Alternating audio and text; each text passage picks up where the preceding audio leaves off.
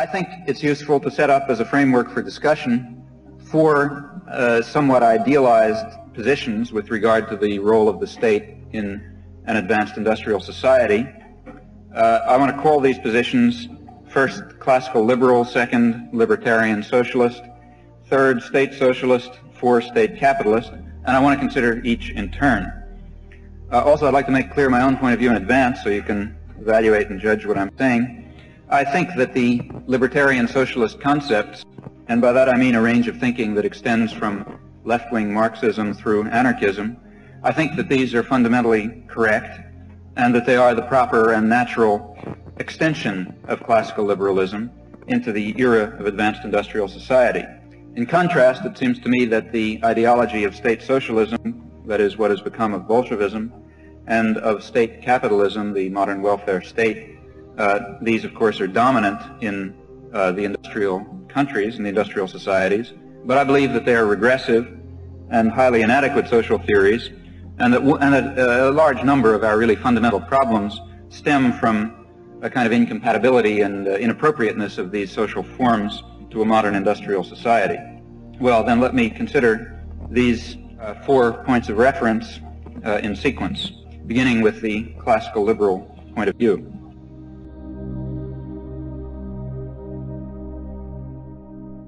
Classical liberalism asserts as its major idea an opposition to all but the most restricted, minimal forms of state intervention in personal or social life. Well, this conclusion is quite familiar. However, the reasoning that leads to it is less familiar and I think a good deal more important than the conclusion itself. One of the earliest and most brilliant expositions of this position is in uh, Wilhelm von Humboldt's Limits of State Action, which was written in 1792, uh, though not published for 60 or 70 years after that. In his view, the state tends to, uh, quote, tends to make an instrument, to make man an instrument to serve its arbitrary ends, overlooking his individual purposes. And since man is in his essence a free, searching, self-perfecting being, it follows that the state is a profoundly anti-human institution. That is, its actions, its existence, are ultimately incompatible with the full harmonious development of human potential in its richest diversity, hence incompatible with what Humboldt and in the following century Marx, Bakunin, Mill, and many others, what they see as the true end of man. And for the record, I think that this is an accurate description.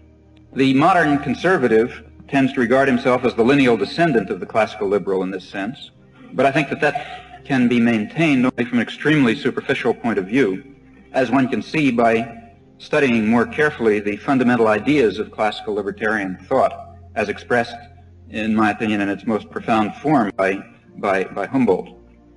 I think the issues are of really quite considerable contemporary significance, and if you don't mind a, what may appear to be a somewhat antiquarian excursion, I'd like to expand on them. Uh, for Humboldt, as for Rousseau, and before him the Cartesians, man's essential attribute is his freedom. For Humboldt, man is born to inquire and create.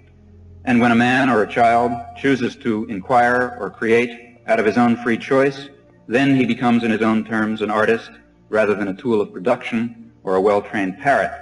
And I think it's very revealing and interesting to compare it with Marx, uh, with his early, with the early Marx uh, manuscripts, in particular his account of, quote, the alienation of labor when work is external to the worker, not part of his nature, so that he does not fulfill himself in his work, but denies himself and is physically exhausted and mentally debased. This alienated labor that casts some of the workers back into a barbarous kind of work and turns others into machines, thus depriving man of his species character, of free conscious activity, and productive life. Uh, Robert Tucker, for one, has rightly emphasized that Marx sees the revolutionary more as a frustrated producer than as a dissatisfied consumer. And this far more radical critique of capitalist relations of production flows directly, often in the same words, from the libertarian thought of the Enlightenment. For this reason, I think one must say that classical liberal ideas, in their essence, though not in the way they developed, are profoundly anti-capitalist. The essence of these ideas must be destroyed for them to serve as an ideology of modern industrial capitalism. Writing in the 1780s and early 1790s, Humboldt had no conception of the forms that industrial capitalism would take. Consequently, in this classic of classical liberalism, he stresses the problem of limiting state power, and he's not overly concerned with the dangers of private power. The reason is that he believes in and speaks of the essential equality of condition of private citizens. And of course, he has no idea, writing in 1790, of the ideas and of the ways in which the notion private person would come to be reinterpreted in the era of corporate capitalism. And if there is something degrading to human nature in the idea of bondage, as every spokesman for the Enlightenment would insist, then it would follow that a new emancipation must be awaited, what Fourier referred to as the third and last emancipatory phase of history, the first having made serfs out of slaves, the second wage earners out of serfs, and the third which will transform the proletariat to free men by eliminating the commodity character of labor, ending wage slavery, and bringing the commercial, industrial, and financial institutions under democratic control. These are all things that Humboldt in his classical liberal doctrine did not express and didn't see. But I think he might have accepted these conclusions. He does, for example, agree that state intervention in social life is legitimate if freedom would destroy the very conditions without which not only freedom but even existence itself would be inconceivable, which are precisely the circumstances that arise in an unconstrained capitalist economy. In any event, his criticism of bureaucracy and the autocratic state stands as a very eloquent forewarning of some of the most dismal aspects of modern history. And the important point is that the basis of his critique is applicable to a far broader range of coercive institutions than he imagined, in particular to the institutions of industrial capitalism. Though he expresses a classical liberal doctrine, Humboldt is no primitive individualist in the style of, uh, for example, Rousseau. So Rousseau extols the savage who lives within himself, but Humboldt's vision is entirely different. He sums up his remarks as follows. He says, the whole tenor of the ideas and arguments unfolded in this essay might fairly be reduced to this, that while they would break all fetters in human society, they would attempt to find as many new social bonds as possible. The isolated man is no more able to develop than the one who is fettered. And he in fact looks forward to a community of free association without coercion by the state or other authoritarian institutions in which free men can create and inquire, achieve the highest development of their powers. In fact, far ahead of his time, he presents an anarchist vision that is appropriate, perhaps, to the next stage of industrial society. We can perhaps look forward to a day when these various strands will be brought together within the framework of libertarian socialism, a social form that barely exists today, though its elements can perhaps be perceived for example, in the guarantee of individual rights that has achieved so far its fullest realization, though still tragically flawed in the Western democracies, or in the Israeli kibbutzim, or in the experiments with workers' councils in Yugoslavia. So let me summarize this first point. The first concept of the state that I want to set up as a point of reference, classical liberal, its doctrine is that the state functions should be drastically limited, but this familiar characterization is a very superficial one.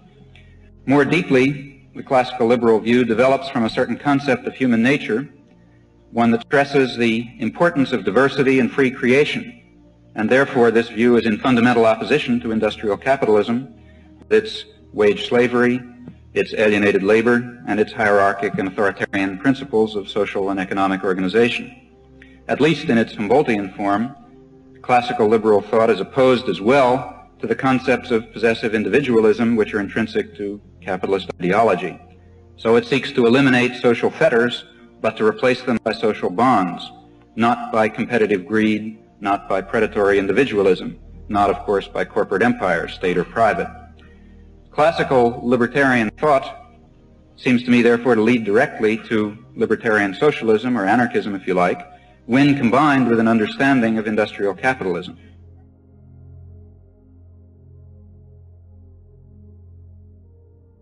Well, the second point of reference that I want to discuss is the libertarian socialist vision of the state. Uh, a French writer, rather sympathetic to anarchism, once wrote that anarchism has a broad back. Like paper, it endures anything. And there are many shades of anarchism, and I'm concerned here only with one, namely the anarchism of Bakunin, who wrote in his Anarchist Manifesto of 1865 that to be an anarchist one must first be a socialist.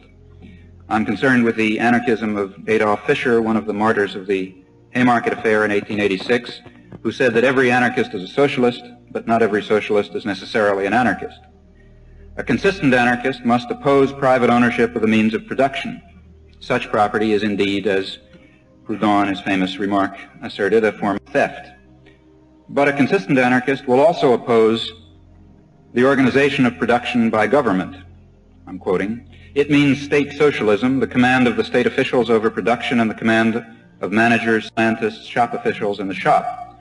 The goal of the working class is liberation from exploitation, and this goal is not reached and cannot be reached by a new directing and governing class substituting itself for the bourgeoisie.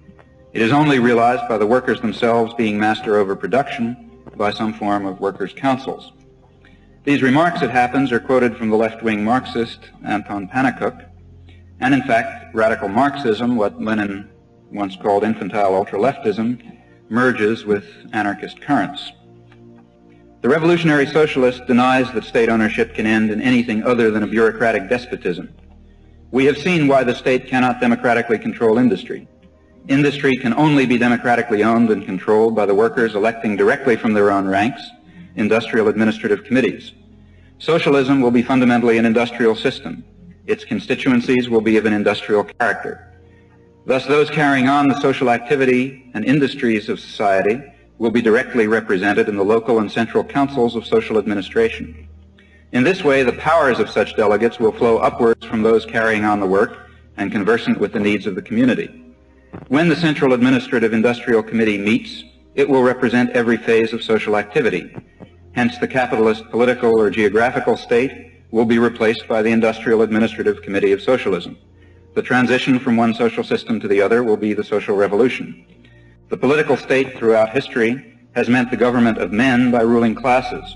The Republic of Socialism will be the government of industry administered on behalf of the whole community. The former meant the economic and political subjection of the many, the latter will mean the economic freedom of all. It will be, therefore, a true democracy.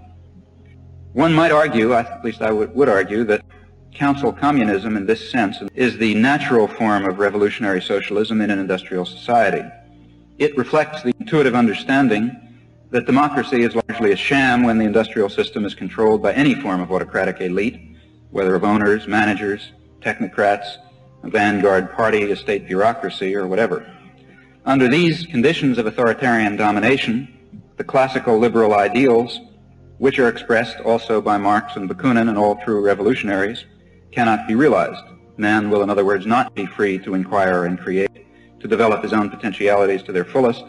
The worker will remain a fragment of a human being, degraded, a tool in the productive process directed from above. Now, the ideas of revolutionary libertarian socialism in this sense, they've been submerged in the industrial societies of the past half century. The dominant ideologies have been those of state socialism and state capitalism.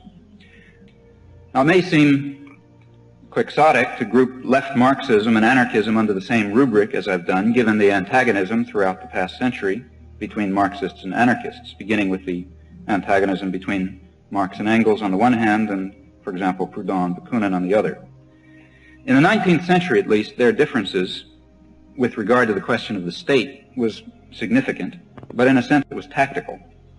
The anarchists were convinced that capitalism and the state must be destroyed together.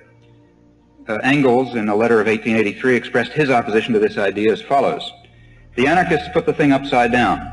They declare that the proletarian revolution must begin by doing away with the political organization of the state, but to destroy it at such a moment would be to destroy the only organism by means of which the victorious proletariat can assert its newly conquered power, hold down its adversaries, and carry out that economic revolution of society without which the whole victory must end in a new defeat and in a mass slaughter of the workers, similar to those after the Paris Commune. Now, the Paris Commune, I think it's fair to say, did represent the ideas of libertarian socialism, of anarchism, if you like, and Marx, of course, wrote about it with great enthusiasm. Uh, he, in fact, the experience of the Commune led him to modify his concept of the role of the state uh, as you can see, for example, by looking at the introduction to the Communist Manifesto, the, the edition of it that was published in 1872, and to take on something like a more anarchist perspective of the nature of social revolution. Well, the commune was, of course, drowned in blood, as the anarchist communes of Spain were destroyed by fascist and communist armies. And it might be argued that more dictatorial structures would have defended the revolution against such forces. But I doubt this very much. At least in the case of Spain, it seems to me that a more consistent libertarian policy might have provided the only possible defense of the revolution. Uh, Lenin, till the end of his life, stressed the idea, I quote, that it is an elementary truth of Marxism that the victory of socialism requires the joint effort of workers in a number of advanced countries. At the very least, it requires that the great centers of world imperialism be impeded by domestic pressures from counter-revolutionary intervention. Only such possibilities will permit any revolution to overthrow its own coercive state institutions as it, over, as it tries to bring the economy under direct democratic control. Well, let me summarize briefly again. I've mentioned so far two reference points for a discussion of the state, classical liberalism and libertarian socialism. They're in agreement that the functions of the state are repressive and that state action must be limited. The libertarian socialist goes on to insist that the state power must be eliminated in favor of the democratic organization of industrial society, with direct popular control over all institutions by those who participate in as well as those who are directly affected by the workings of these institutions. So one might imagine then a system of workers' councils, consumers' councils, commune assemblies, regional federations, and so on, with the kind of representation that's direct and revocable in the sense that representatives are directly answerable to and return directly to the well-defined and integrated social group for which they speak in some higher order organization, something obviously very different than our system of representation. Now, it might very well be asked whether such a social structure is feasible in a complex, highly technological society. There are counter-arguments, and I think they fall into two main categories. First category is that such an organization is contrary to human nature, and the second category says roughly that it's incompatible with the demands of efficiency, and I'd like to briefly consider each of these. Consider the first, that a free society is contrary to human nature. It's often asked, do men really want freedom? Do they want the responsibility that goes with it? Or would they prefer to be ruled by a benevolent master? Consistently, apologists for the existing distribution of power have held to one or another version of the idea of the happy slave. 200 years ago, Rousseau denounced the sophistic politicians and intellectuals who search for ways to obscure the fact, so he maintained, that the essential and defining property of man is freedom.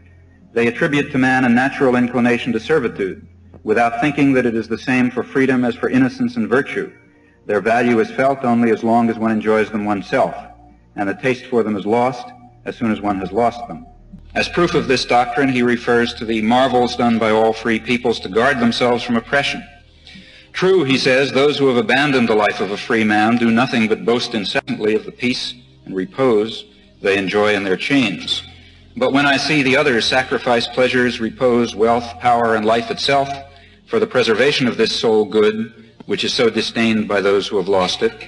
When I see multitudes of entirely naked savages scorn European voluptuousness and endure hunger, fire, the sword, and death to preserve only their independence, I feel it does not behoove slaves to reason about freedom. Rather similar thoughts were expressed by Kant 40 years later. He cannot, he says, express the accept the proposition that certain people are not ripe for freedom for example, the serfs of some landlord. If one accepts this assumption, he writes, freedom will never be achieved, for one cannot arrive at the maturity for freedom without having already acquired it. One must be free to learn how to make use of one's powers freely and usefully. The first attempts will surely be brutal and will lead to a state of affairs more painful and dangerous than the former condition, under the dominance but also the protection of an external authority. However, one can achieve reason only through one's own experiences and one must be free to be able to undertake them. To accept the principle that freedom is worthless for those under one's control, and that one has the right to refuse it to them forever, is an infringement on the right of God himself, who has created man to be free. This particular remark is interesting because of its context as well. Kant, on this, on this occasion, was defending the French Revolution during the Terror against those who claimed that it showed the masses to be unready for the privilege of freedom and his remarks too, I think, have obvious contemporary relevance. No rational person will approve of violence and terror, and in particular the terror of the post-revolutionary state, which has fallen into the hands of a grim autocracy, has more than once reached indescribable levels of savagery. At the same time, no person of understanding or humanity will too quickly condemn the violence that often occurs when long subdued masses rise against their oppressors or take their first steps towards liberty and social reconstruction. Rosa Luxemburg's fraternal, sympathetic critique of Bolshevik ideology and practice was given in very similar terms. Only the active participation of the masses in self-government and social reconstruction could bring about what she described as the complete spiritual transformation in the masses degraded by centuries of bourgeois class rule, just as only their creative experience and spontaneous action can solve the myriad problems of creating a libertarian socialist society. What of the second question, the question of efficiency? Is democratic control of the industrial system down to its smallest functional units incompatible with efficiency? This is very frequently argued on several grounds. Some say, for example, that centralized management is a technological imperative, but I think the argument is exceedingly weak when one looks into it. The very same technology that brings relevant information to the Board of Managers can bring it at the time that it is needed to everyone in the workforce. The technology that's now capable of eliminating this stupefying labor that turns men into specialized tools of production, this technology permits in principle leisure and the educational opportunities that make them able to use this information in a rational way. And furthermore, even an economic elite which is dripping with soulfulness, to use Ralph Miliband's phrase, is constrained by the system in which it functions to organize production for certain ends, power, growth, profit, but not in the nature of the case human needs, needs that to an ever more critical degree can be expressed only in collective terms. It's surely conceivable, and perhaps it's even likely, that decisions made by the collective itself will reflect these needs and interests, as well as those made by various soulful elites. In any event, it's a bit difficult to take seriously arguments about efficiency in a society that devotes such enormous resources to waste and destruction. As everyone knows, the very concept of efficiency is dripping with ideology. Maxim maximization of commodities is hardly the only measure of a decent existence. The point is familiar, and no elaboration is necessary.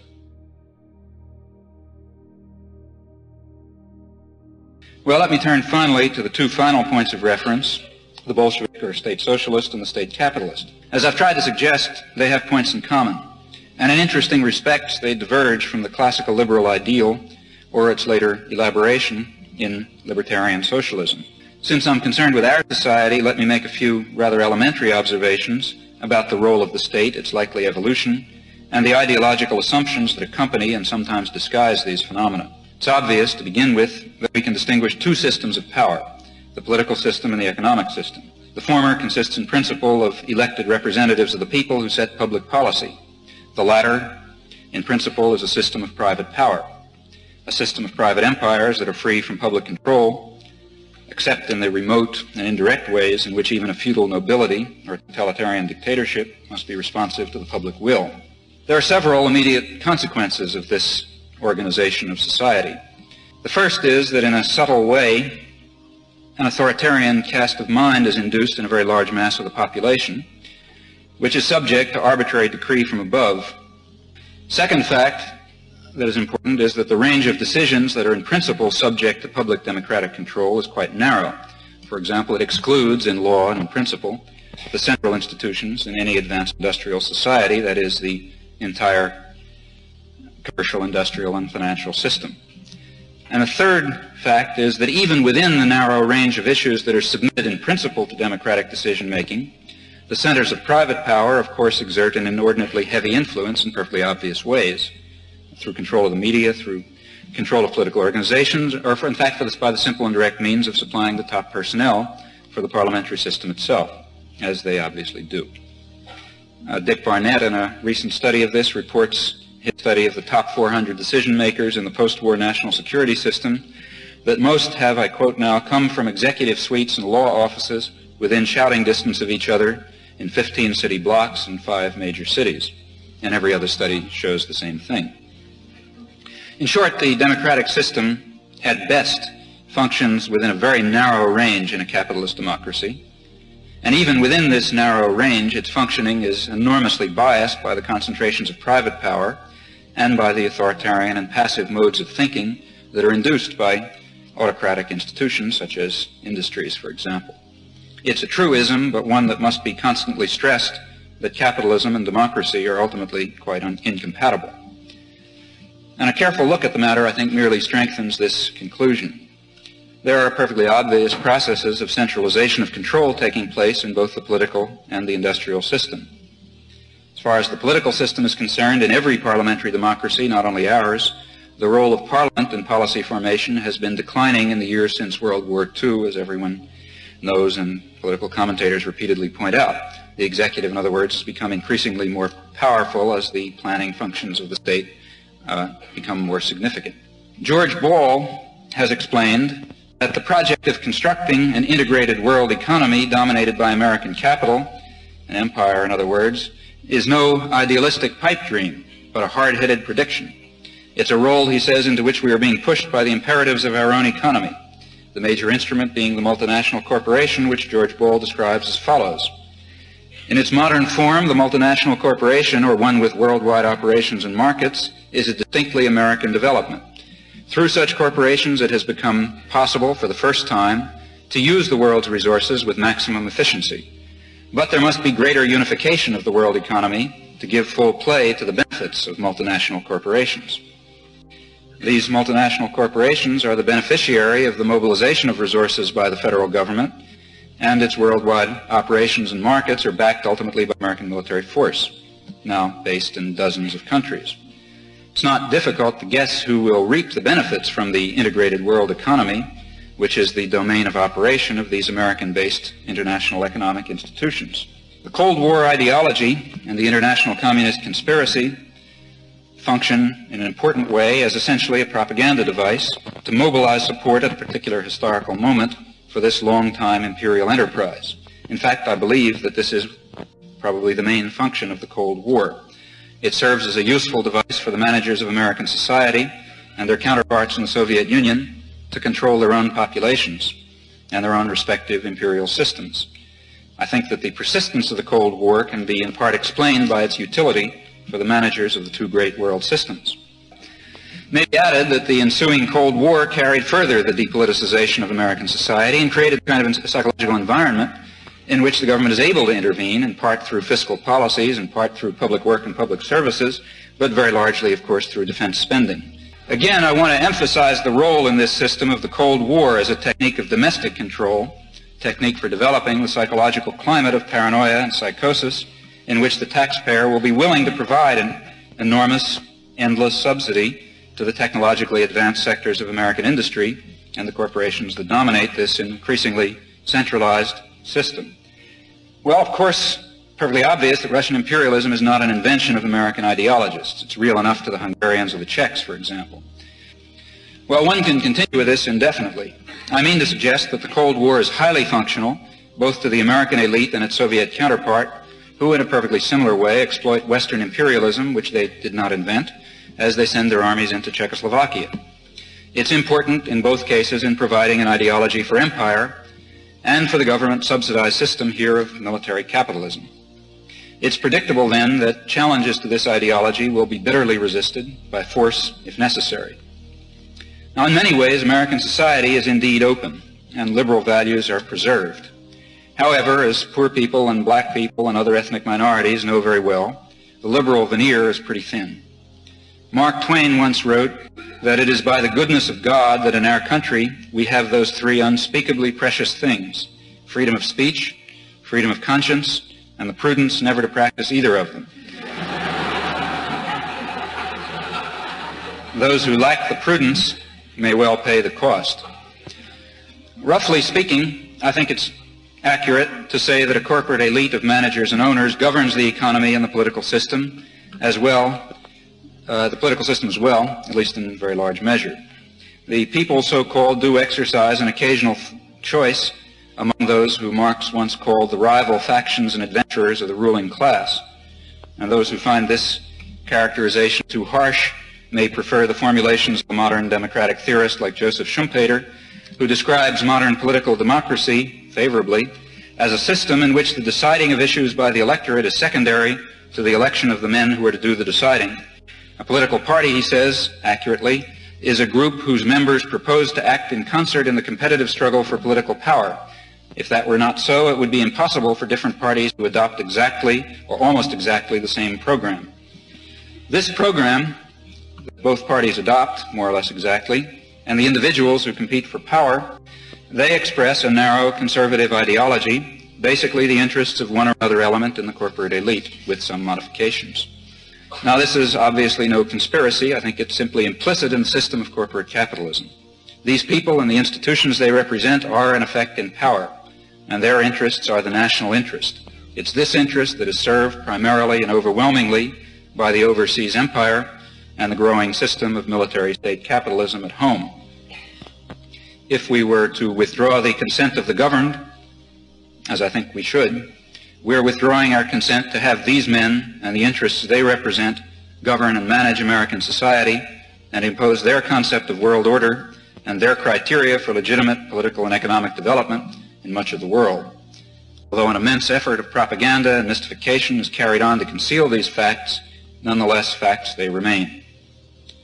We have today the technical and material resources to meet man's animal needs. We have not developed the cultural and moral resources or the democratic forms of social organization that make possible the humane and rational use of our material wealth and power. Conceivably, the classical liberal ideals, as expressed and developed in their libertarian socialist form, are achievable. But if so, only by a popular revolutionary movement rooted in wide strata of the population and committed to the elimination of repressive and authoritarian institutions, state and private. To create such a movement is the challenge we face and must meet if there's to be an escape from contemporary barbarism.